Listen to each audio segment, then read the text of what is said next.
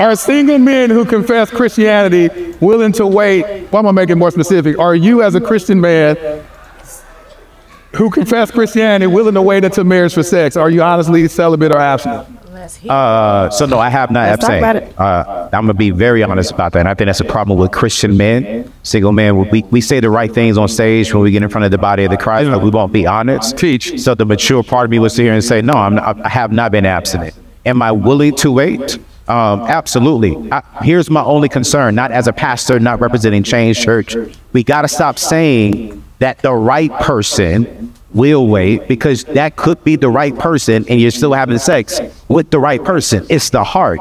And I agree with what she just said. If y'all are willing to step away and get it right and get before God, get before pastor, get before pastor, it doesn't matter really where you are. I think we put so much emphasis on sex, but I know virgins who are going to hell. And so for me,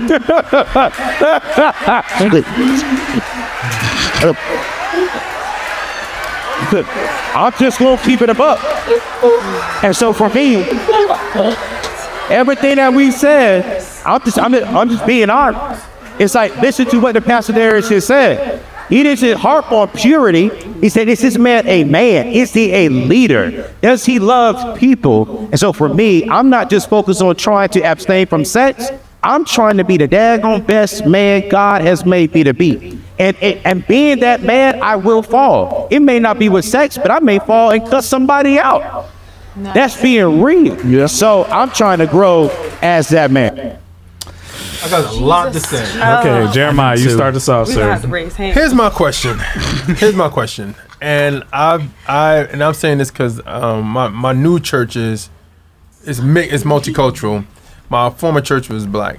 Why do we at black churches get the most charismatic person to be on panels for stuff like this, and then when it comes out like shocked. you shocked like Yeah. in my mind I'm like y'all don't have nobody that's really like you don't want to come to no singles meeting and be like oh yeah he's fornicating so it is what it like so mm-hmm. you y'all chose this brother because he got a following he Yeah. charismatic Yeah.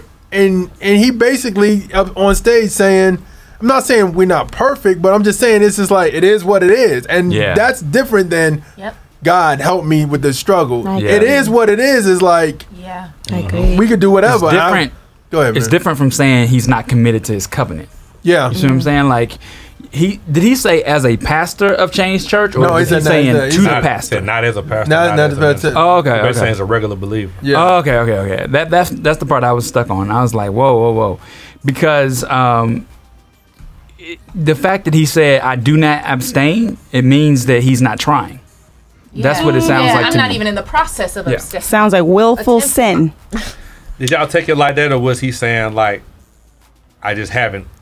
Nah. I, have been trying, but I'm struggling. Sounds like Nah. it's not a big concern for him. No, Yeah. because I didn't hear struggle in that. to me, I wonder when he said you could be having sex with the right person is just the wrong time. Gotcha. My thing is, well, the person that you should be with should be trying to abstain, Abstain as as well, and then not, you know, what I'm saying like put. So I'm gonna ask you this: Do y'all know anybody who y'all know has successful marriage now? Who who believers who did not have sex before they got married?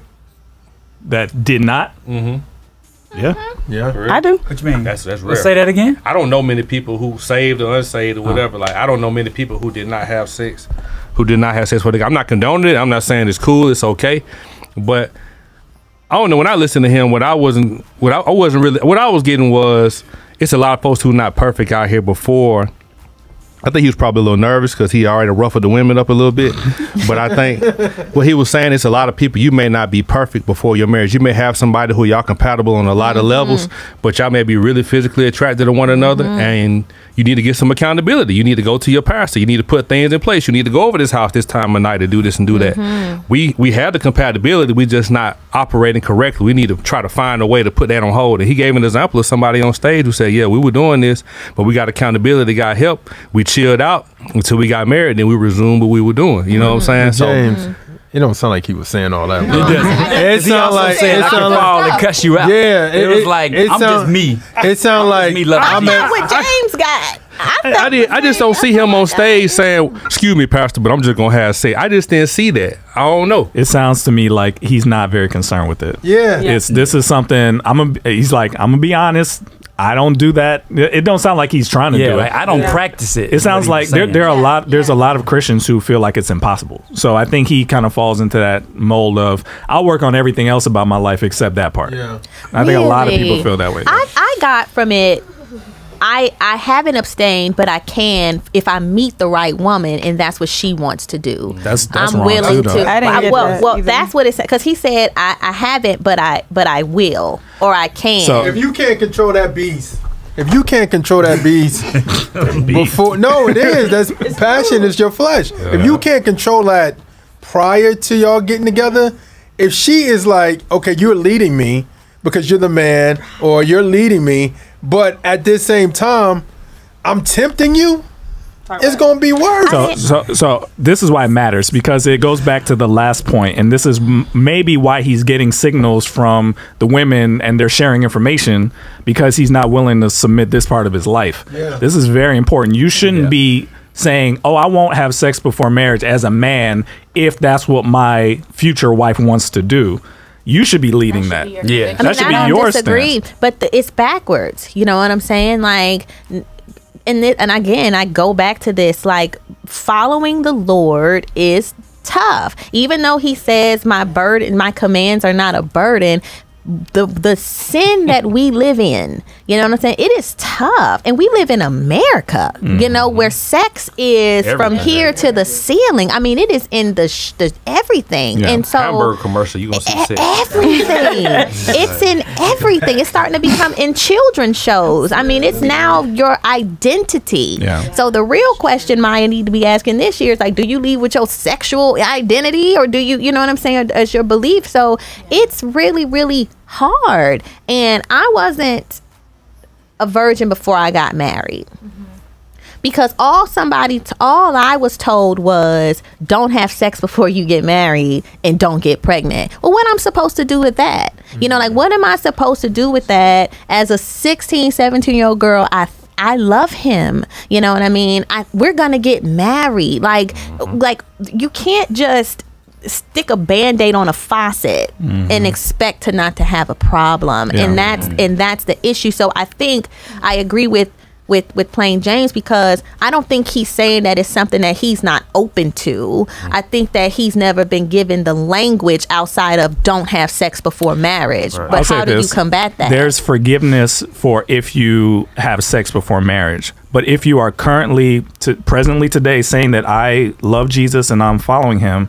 if a man is not willing to say, regardless of you, I am committing my body to Christ, mm-hmm. I am not having sex before marriage, mm-hmm. and even if you want to, the answer is no. Right. Yeah. to me that's a red flag. That means you're you're counting on this person to lead you mm-hmm. in for the rest of your life. Yeah. that is that is the first task to see if he's able to do that. Not saying that people can't fail they stumble but your intention should be i'm going to serve god and i'm going to follow god. Now if he there are a lot of people who don't even know that's possible. That's why we do this show to say it's possible. We actually did not have sex before marriage. We mm-hmm. were we have a successful marriage now. There are mm. challenges with that. There's some inexperience with that. There's some weird issues that come along with that. Yeah. but you can work it out. If you stay faithful it can work if you are aware of what I just said and you still say I'm gonna do it anyway, to me that that is that is a huge red flag. I That don't, means you're dis- not I don't submitted. disagree, but has he truly submitted? That's the question. You know what Yeah. I'm saying? Like, like we're we're we're putting we're putting responsibilities on him, and he may not even be that deep in it. He may just be like a, a Republican Democrat he should be believer. you know, but if he is,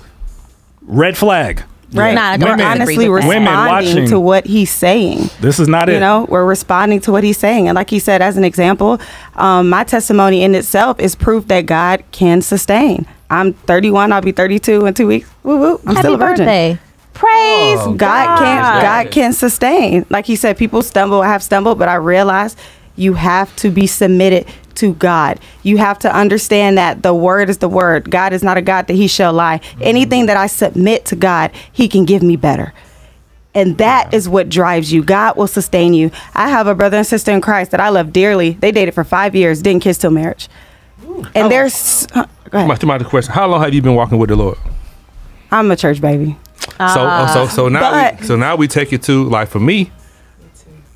You feel me? You know what I'm saying? So it was a little bit different. You know Mm-hmm. what I'm saying? So you were around everybody who went to church in the South, but it was folks in the church who were getting it in. So it's like, don't do this, don't do that. But like she said, we didn't have the language. We thought we were believers. We didn't really understand completely what it meant to have a relationship. So sense. then, even after I got saved and I came to the Lord, I still had a little residue still left for me because salvation, you're working it out in fear and trembling daily.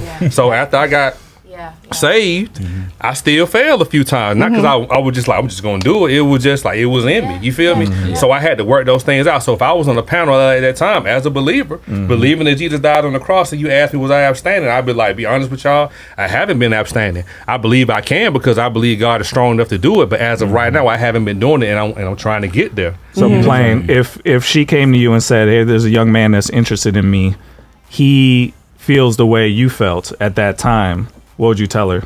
I like you might want to be careful. You know what I'm saying? Because it's like I'm not saying that he's not a believer. I'm not saying he won't treat you right or respect you, but he does have a lot to work on because it's hard to cut. Like she said, it's hard to cut the faucet off when you're going.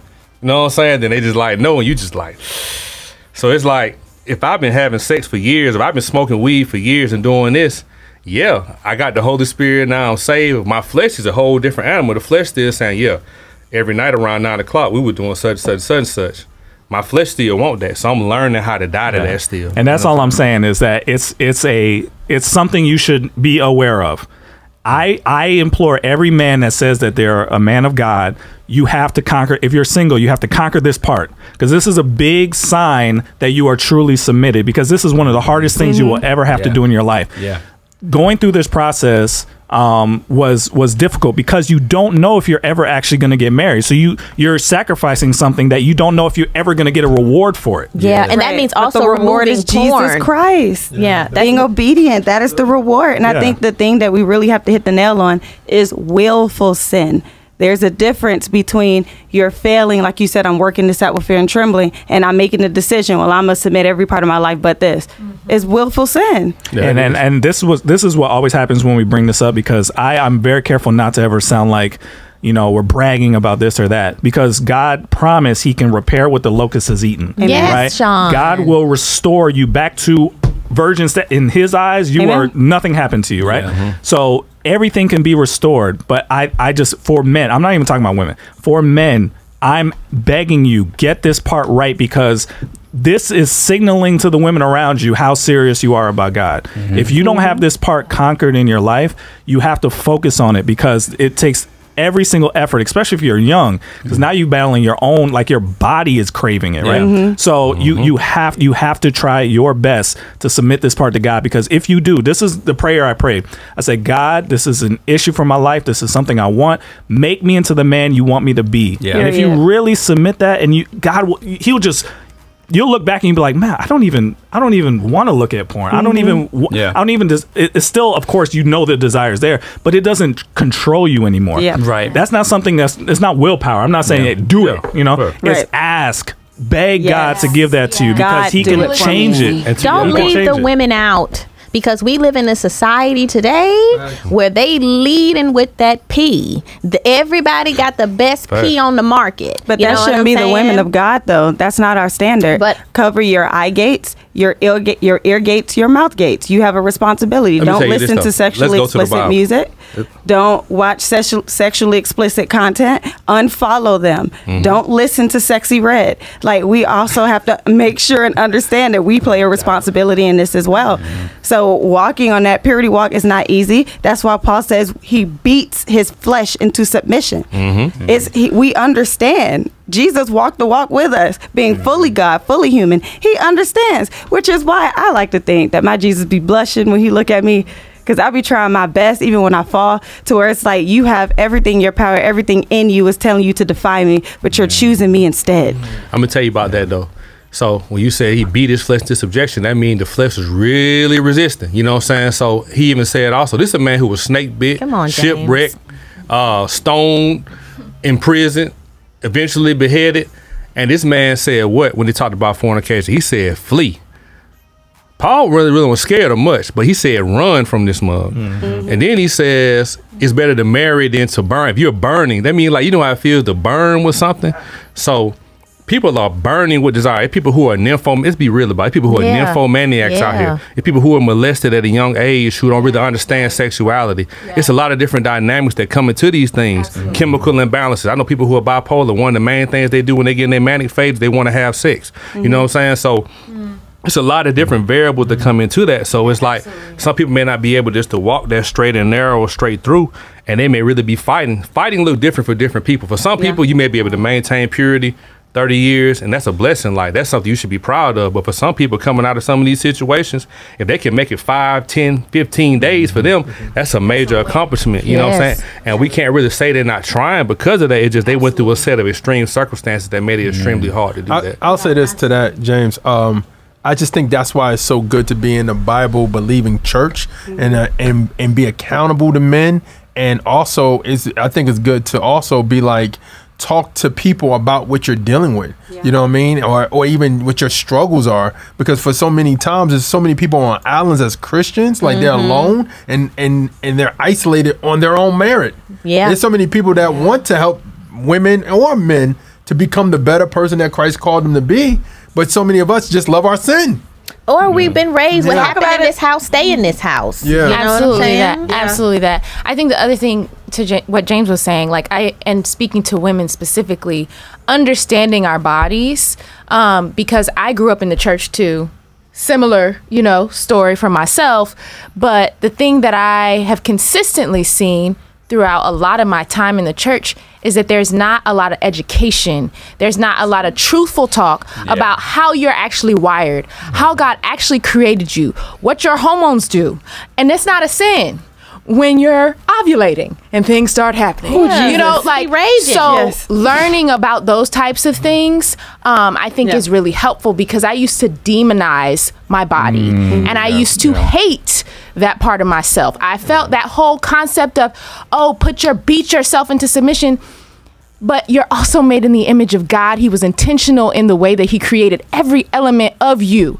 So if you are experiencing an excitable moment, that is not sin in and of itself. And I think that's the part of like recognizing our humanity and not hating it because Jesus was fully human and fully God. And so there's a reason why he didn't just shut down part of our humanity and say, okay, I'm just gonna hold this off till you get married, then you can access it. Like that's a means by which, to what Sean was saying, we can pray and even ask God to give you the right people to talk to and to, to discuss these things with, because it's not bad to have more knowledge and understanding and to have grace for yourself but it's just uh, just figuring out okay how do i work through this? How do i be honest about this? If it's therapy if it's just having safe people to talk through your maybe sexual trauma or whatever it is um, because it's it's not all one dimensional I That- that's that's why I hold the standard to the men. Your your job is to lead and to cover. If if you are walking the way you're supposed to walk, there's there's too many women that have trusted their bodies, their lives, their futures to men who said they were godly and then they took advantage of them. So that's why I'm like, it's it's your responsibility first. You got to get this right because God came to Adam and said, "What did you do?" You know what I'm saying? It's your responsibility. So I, I, I'm challenging men because I see too many men. They just do not care about this at all in their lives, and they they need to start paying attention. Yeah, and I'll say this too. This last thing, um, it also uh, weeded people out. You know what I mean? When I would say I'm not having sex before I get married, there I would, you know, find people that did not want to date me anymore, and that was a good thing. And Ryan 'cause meant that, it. Yeah. Yeah, yeah. He meant because that was a way for me to say, okay, you're not serious about your walk, so let me Yeah. let me keep it moving.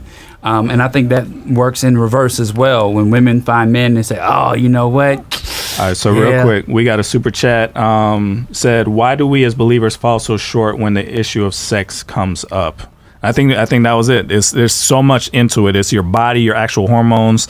The time. I mean, we're getting married way later than people in the Bible did, right? Yeah. So you're dealing with with uh, this for much longer than most people did back then. So because of our culture, you're taught to get married in your 30s when these people were getting married late teens. Yeah. Right. So this is something that lasts a little bit longer in our culture, and because it's so it's so um Sensationalized. yeah, it's like it's normal for you not to do this. It's not like it's the normal thing, and then you know some people are falling astray. It's weird if you find a virgin, Yeah. especially a dude around, right? So it's it's it's it's so countercultural that that's why you have to you have to consider not just the people who are virgins. You have to consider all the people like um, um, Yeah. Plain said that Yeah. have fallen, that have been raised in environments that made it okay. Mm-hmm. There's so many people you're talking to at the same time that you have to be considerate of everybody. That's why it, it takes a little bit longer to weave your way through it because you don't want to leave anybody out. But And I hopefully last thing I want to say is like, look at David. You know, David was personally appointed by God Himself. And Bathsheba. I mean, come on. You know what I'm saying? Like he did whatever he could to get to that woman. First porn. Samson. you know what I'm saying? Samson's weakness was women. You know what I mean? You know, fell because of Delilah. So this is as a plain James point what Paul said, like burning your you know, it's oh, it's it's it is hard. And I agree with you wholeheartedly. And it sounds like Queen, you were discipled. I didn't have that blessing. You know what I'm wasn't saying? discipled. Well, growing up in a church, Yeah, but to be completely honest with you, everything that I've come up with has been in a secret place with God. I literally got knee deep in the Word and have learned everything through God Himself. So I, that's why when I say like the Lord will sustain, He literally will sustain. And then also putting me, like I said, community. I was molested as a child, mm-hmm. so I understand. So it's not just a cookie cutter. I was raised in a church, even though you know grandparents, deacons, prayer Yeah. warriors, all of that. But I still was subjected to some hard things in life, and I chose to submit them to God. Mm-hmm. And then God answered me. Mm-hmm. So that's why I'm just letting you guys know like, I understand um, sexual sin is a thing, I understand spiritual warfare is a thing, but the word is true, and it says we have a God that overcame the world, He overcame everything. And even if you have all of these things going on, you can still submit that to Him, and He will answer you. and it takes time too because some people that thing some people get deliverance immediately. Yeah. and Right, some people the testimony is a is a is a is is a journey. Sanctification. To yeah that point, Christ healed some people when they were blind immediately. One guy, he rubbed it one time, he saw men like trees, and he reached down and he had to touch them again. You know what I'm saying? Sometimes healing is a process, you know what I'm saying? And sometimes it's immediate. I know a guy, my dude Five, shout out to Five, he was on meth and crack. He was smoking meth and crack for seven years. God said, go to church. He walked into a church, immediately went down to the altar in the middle of their service, didn't know what was going on. God delivered him from meth and crack. Some folks got to go to a 12 step program. Yeah, yeah.